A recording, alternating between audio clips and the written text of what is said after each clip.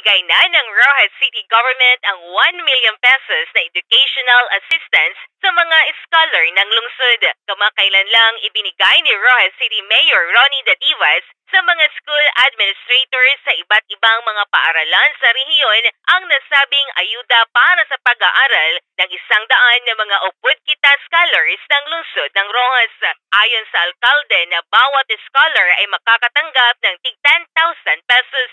Layunin ng Rojas City Government na mabigyan ng karagdagang akses ang mahihirap na mag-aaral pero matalino at masipag mag-aral para magkaroon ng oportunidad na makapag-aral sa kanilang gustong kurso at makapagtapos ng kolehiyo. Naniniwala si Mayor Dadivas na edukasyon ang susi para sa pag-unlad. Ito ay si Jennifer Karikitan para sa Radyo Nationwide.